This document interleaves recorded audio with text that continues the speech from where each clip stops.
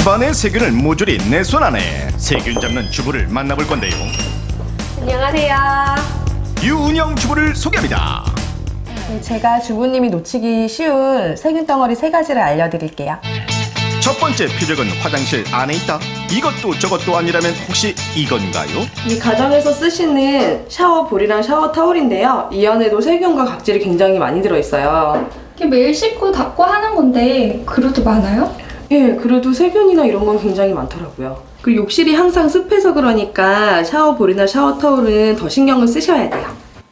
과연 주부의 말은 사실일까? 사실 쓰고 말리고 쓰고 말리고 계속 전문가의 하거든요. 도움을 빌려 샤워탑의 은밀한 속을 들여다본 결과 이 물질의 천국이었는데요. 현재 지금 때타올을 너무 오래 사용하셔서 예, 이물질이 많이 껴있는 상태예요. 이렇게 거뭇거뭇하게 보여 있는 것은 지금 세균들이에요. 어머. 빼겠죠. 샤워 타올은 뜨거운 물에 삶아 관리해 주거나 물과 식초를 1대1 비율로 섞어 만든 식초수에 담가뒀다가 깨끗하게 빨아서 써야 하는데요. 하지만 오래 쓴 타올은 위생을 위해 욕심 부리지 말고 과감하게 버려주세요. 그렇다면 입안에 들어갔다 나오는 칫솔의 상태는 어떨지 한번 알아봤습니다.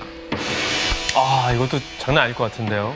균 종류가 엄청 많네. 긴 거 짧은 거 다 다른 거죠? 얇은 세상에. 거랑. 움직여. 어, 징그러. 칫솔에도 관리 방법이 있습니다. 칫솔을 씻어서 잘 말린 다음 전자레인지에 1분간 돌려주면 잔여 세균을 잡아줄 수 있다고 합니다. 그렇다면 칫솔 속 세균은 어느 만큼 줄어들었을까요? 한눈에 보기에도 세균이 사라진 모습 보이시나요?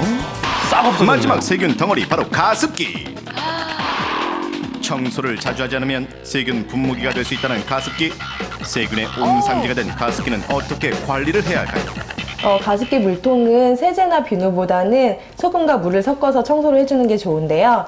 그 이유는 세제로 할 경우에는 잔여물이 남아서 나중에 호흡기로 들어가면 위험할 수 있기 때문에 천연 재료인 물과 소금으로 이용하는 게 좋아요. 청소 방법은 간단합니다. 물통에 물과 소금을 2대1 비율로 넣고 신나게 한번 흔들 흔들 흔들어주면 끝. 본체는 어, 여기 베이킹 소다와 식초를 사용해서 좀 더 강력하게 소독을 해주셔야 돼요. 물때가 많이 낀 본체에는 베이킹 소다와 식초를 부어준 뒤 가습기용 솔로 마무리해주면 됩니다. 그러면 겉모습도 반짝반짝 세균 걱정은 날려버릴 가습기 청소 오케이.